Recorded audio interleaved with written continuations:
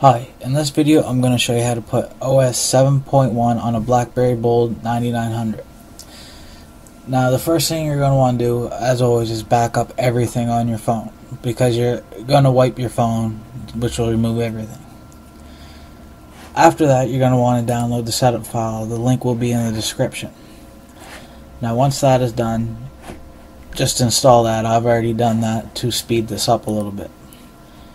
Now once that's done, you'll just want to run bbsak and you'll want to wipe your phone so that just to make sure there'll be no errors from anything that may be left over.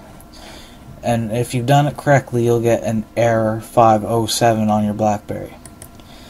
Now, by this time, your uh, OS should be installed. So you're just going to go to your computer. Uh, C drive or whatever drive you've installed it to, and then go to Program Files, Common Files, and Research in Motion. Then you'll just go to App Loader and delete the vendor file. Now once that's done, all you have to do is double click the loader.exe and just follow the instructions on the uh, screen for the programs you want installed on your BlackBerry and just let it do its thing. The first boot may take up to 20-30 minutes. That is normal. Don't be alarmed by that.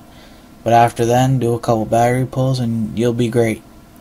And that's all you have to do to install OS 7.1 on a BlackBerry Bold 9900.